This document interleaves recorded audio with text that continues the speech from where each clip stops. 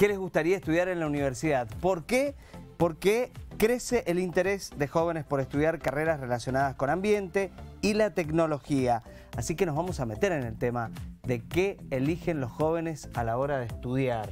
¿Y en el marco de qué? De Yo Estoy, que es un foro tecnológico, es el Foro Tecnológico Mendoza, que se realiza por tercer año consecutivo aquí en la provincia de Mendoza, organizado por la Red Educación de Mendoza junto al Ministerio de Economía de la provincia, con el apoyo de municipios de la ciudad de Mendoza, de Las Heras, de Guaymallén y Conexión el multiespacio de arte y movimientos, que es el día 15 de diciembre. ¿Y por qué es importante? Porque bueno, los chicos ahí van a, tener experiencias, van a saber qué pueden elegir en la universidad, por dónde va su vida, qué les gusta, qué no, eh, con algunas experiencias y también con gente que les puede contar lo que les está pasando. Por eso te preguntamos esto a vos. Eh, vamos a presentar a nuestros invitados. Graciela Betancourt es eh, presidenta de la Fundación Tomás Alba Edison y miembro de la Red Educativa por Mendoza. Eh, perdón, Red Educación por Mendoza. Ahí está.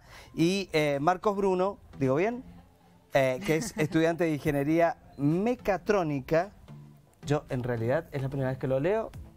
Tuve que preguntar porque ya lo va a explicar él, esto es en la Universidad Nacional de Cuyo, destacado internacionalmente por su aporte a experimentos científicos que trascienden la vida en la Tierra, EPA, es un montón.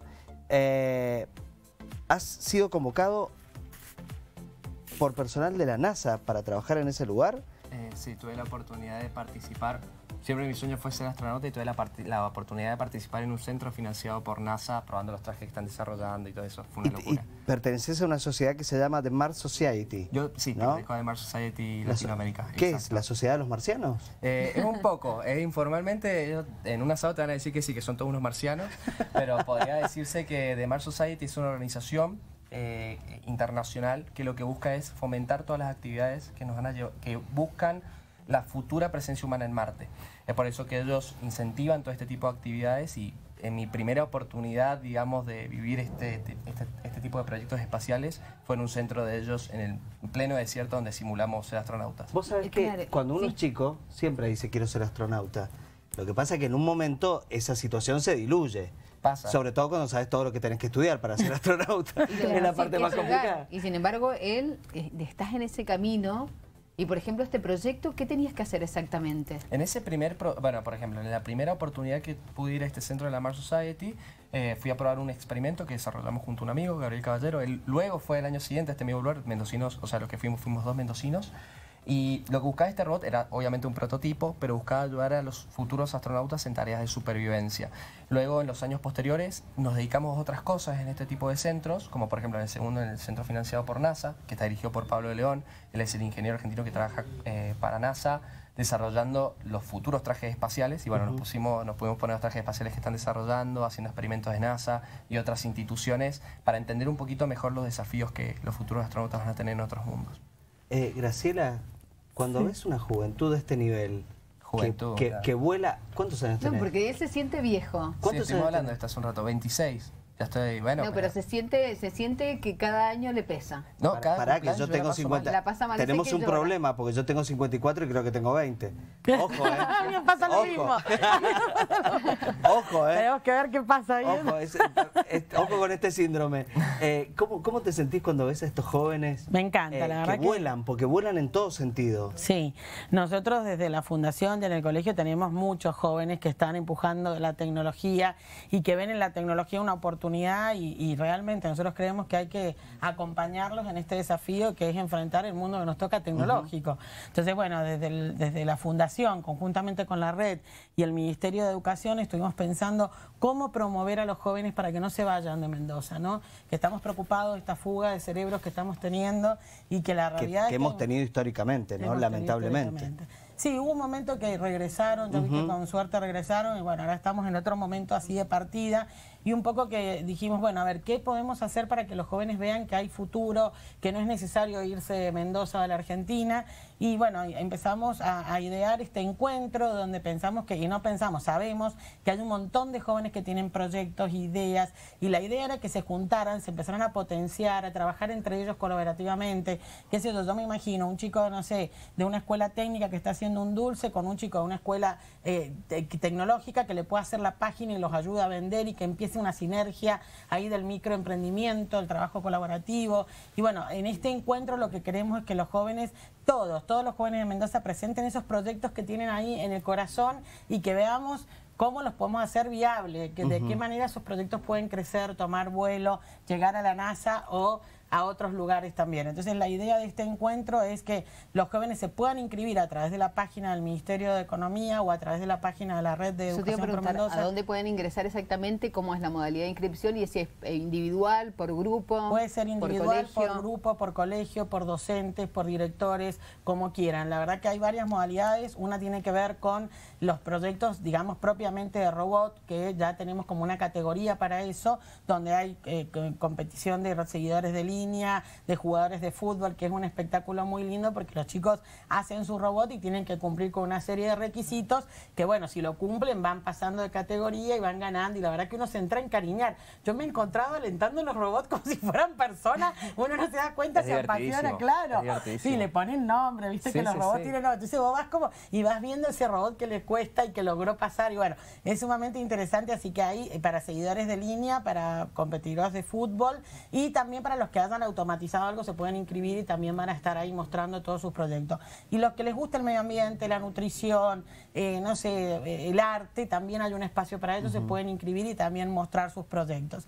La idea es que va a estar justamente el Forotec en ese momento y van a estar los empresarios de Mendoza que quieren fomentar y apoyar el crecimiento de, digamos, Mendoza más tecnológica. Entonces, que nos pareció un momento justo de encontrar a los jóvenes con los empresarios y empezar a ver este mundo todos juntos, ¿no? Los requerimientos que ellos necesitan hoy, estos jóvenes que se están preparando, los jóvenes qué requerimientos tienen, porque hoy la verdad que los millennials eh, viste que es complejo, ellos quieren preocuparse por la salud, por el cuidado del medio ambiente, eligen empresas que tengan estas condiciones, entonces es sumamente importante que se dé ese diálogo para que también las empresas se puedan transformar para estos nuevos empleados. ¿Cómo es el ranking? Por ejemplo, hoy en día los chicos que eligen principalmente de andar de arriba para abajo y por qué?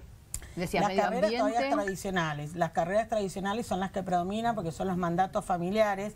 De hecho, si llega alguien y dice quiero estudiar mecatrónica, primero los padres no saben qué es, segundo no tienen mucha, no, o sea, a mí me ha pasado que yo he visto nenas que tienen, por ejemplo, condición en tecnología y luego el papá tráigala, ¿te parece? Ella no será maestra, mejor Graciela. no se la hacen mandato en el todavía. Claro, no se la hacen en el mundo de las tecnologías o a un chico que le digo, mira, él puede llegar a ser ingeniero, ¿te parece que lo, no, no sé, que vaya a abogacía, medicina? Es como que todavía las familias buscan las carreras tradicionales.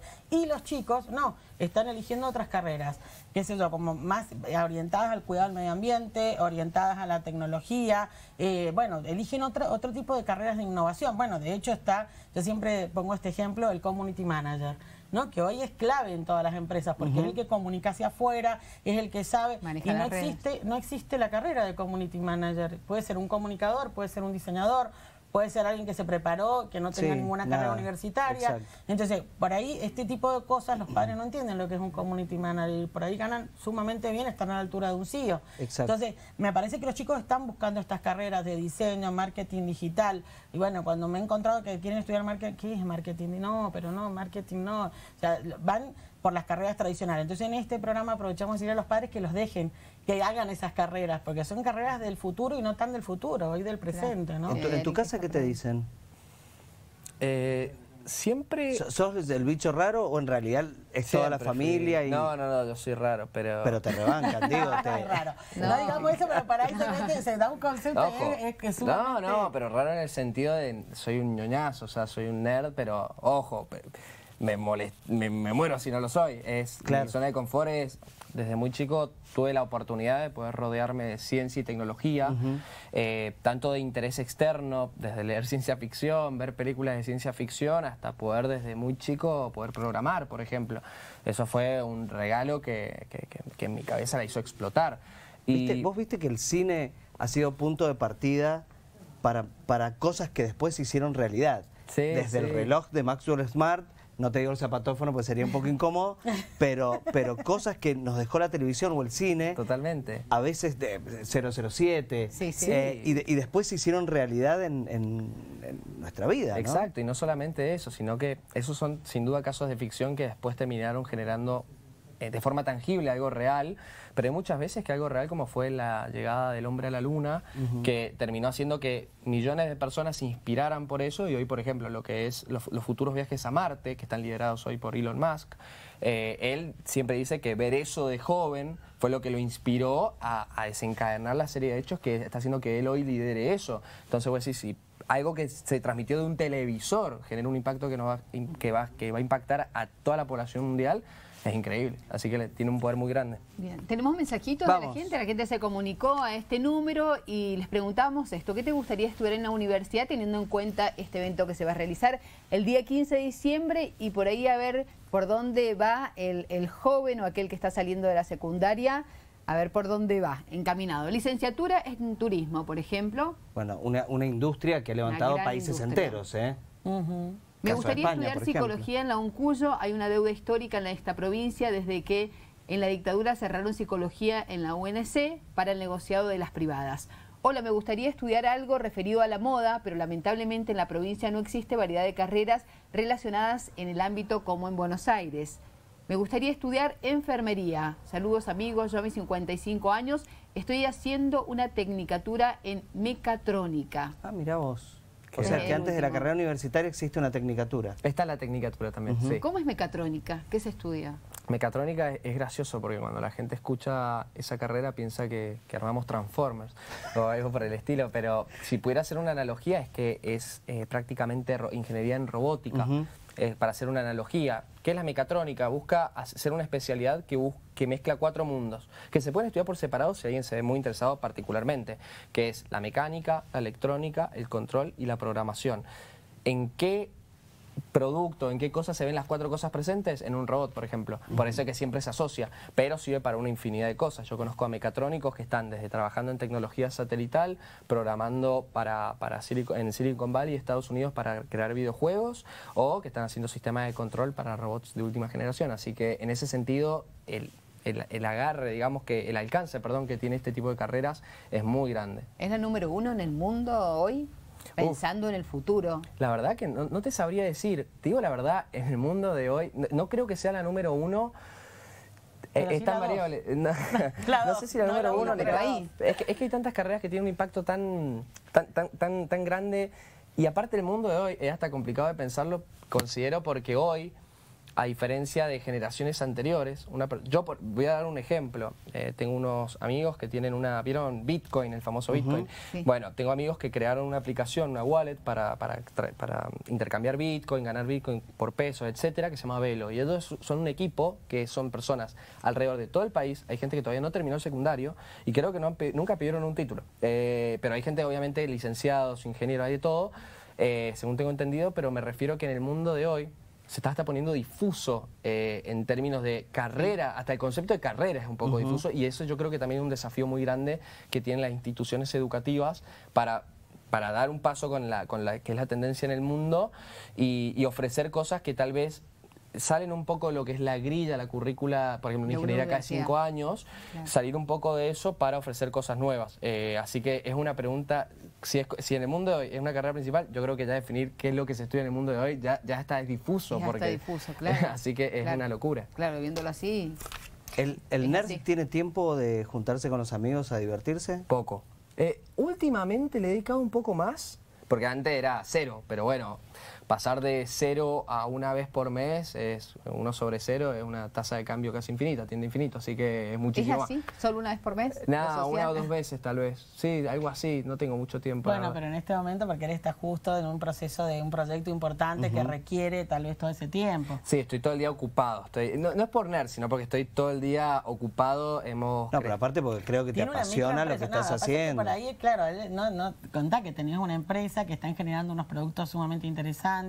O sea, bueno, no se junta con los amigos, pero está creando y tiene otros amigos con los que trabajás. Ah, y sí.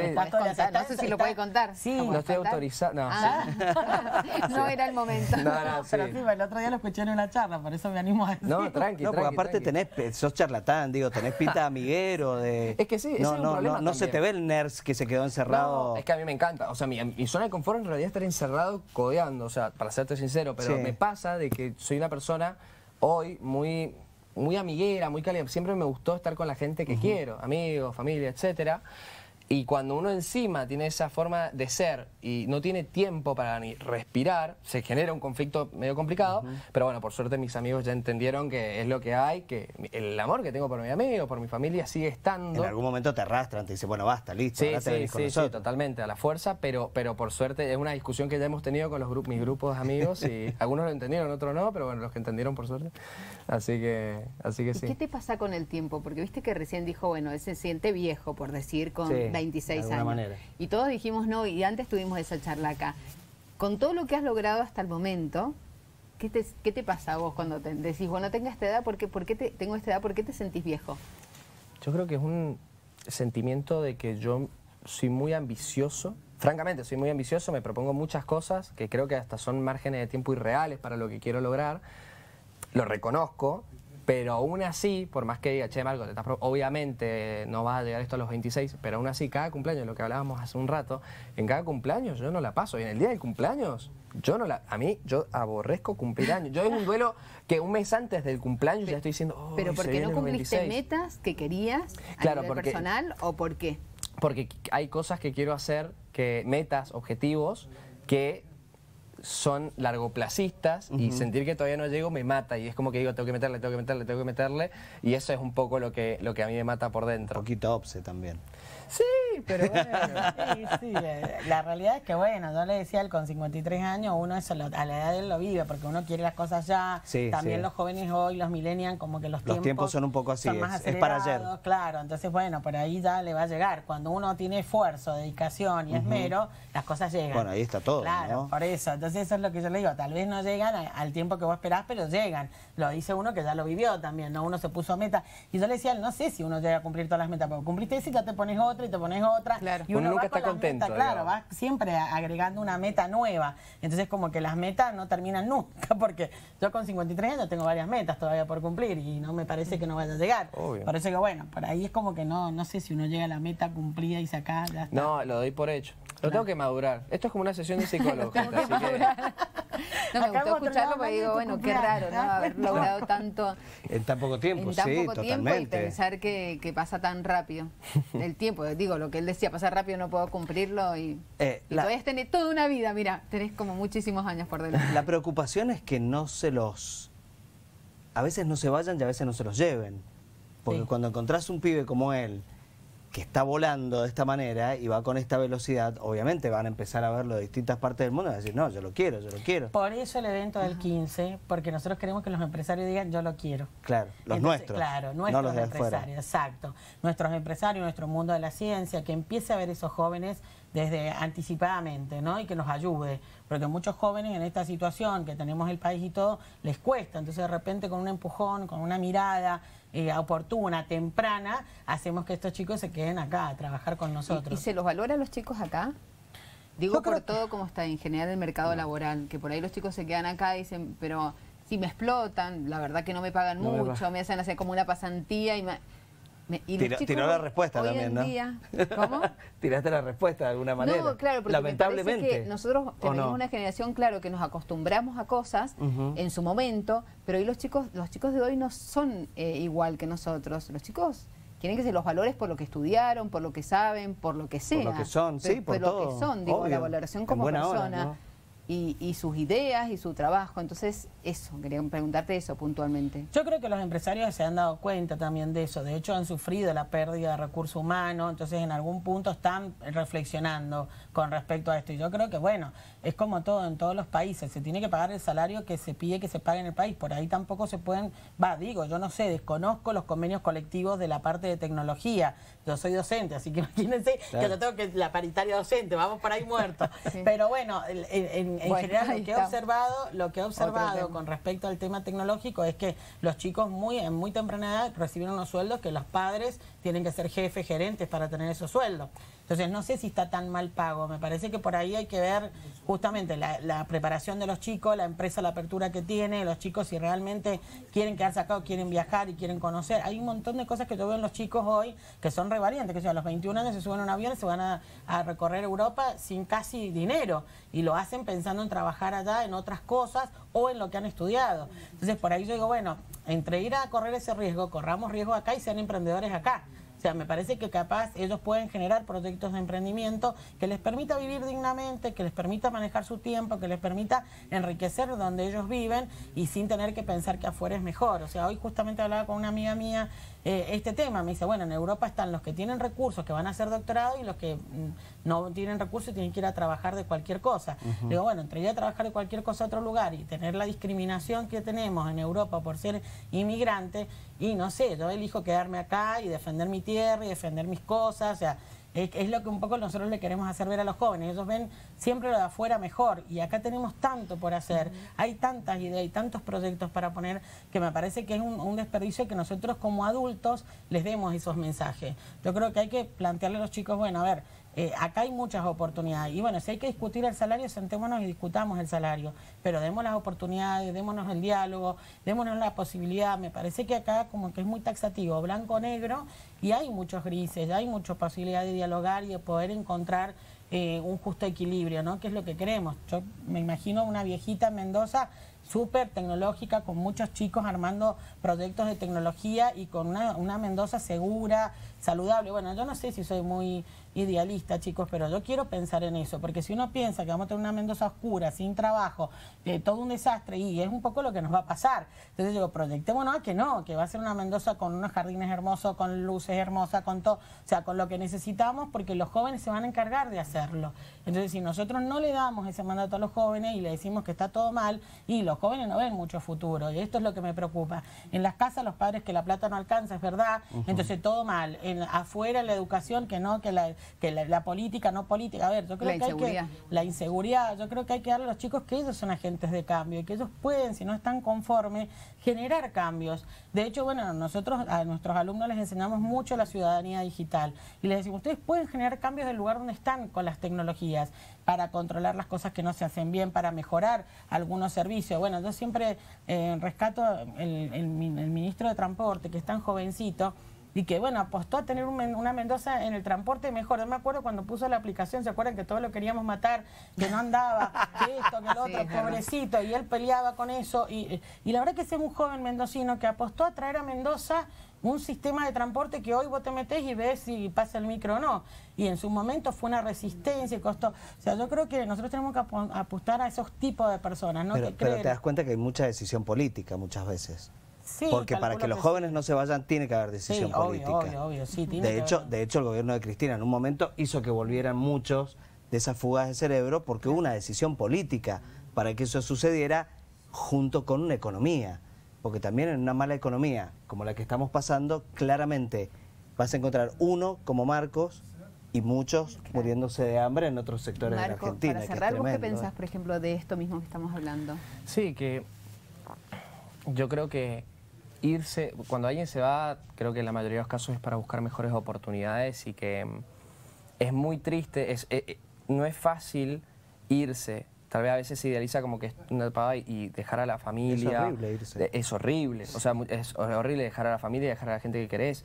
Eh, o sea, no es para nada fácil y es una lástima que algunos tomen, no les quede otra que tomar ese camino. Es tristísimo, pero buscan nuevos horizontes y bueno, eh, sin duda uno quiere crecer y es, y es una opción más que válida. Pero yo también lo que quiero agregar es que esa es una opción sin duda, pero también hay otras opciones, por ejemplo, hoy nosotros desde Mendoza, soy cofundador junto a, junto a Giorgio Taquini y Mario Japaz de una startup de, de la que hacemos inteligencia artificial y ciencia de datos, porque a nosotros somos todos nerds también, y nos encantan los datos, nos encanta la tecnología. Vimos que acá en Mendoza había un lugar para hacerlo, son de esas cosas que uno tal vez escucha que ocurren afuera, que son del siglo XXIV, que son el futuro, y dijimos, bueno, hagámosla, eh, hagámoslo en Mendoza y, actuar acá y hasta pensar para el mundo, o sea, y de, generar productos, de generar servicios y generar un impacto de Mendoza al mundo.